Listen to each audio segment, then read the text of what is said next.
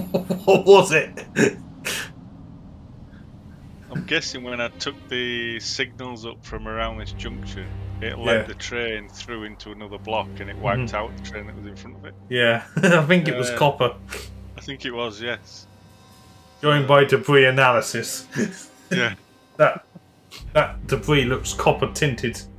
yeah.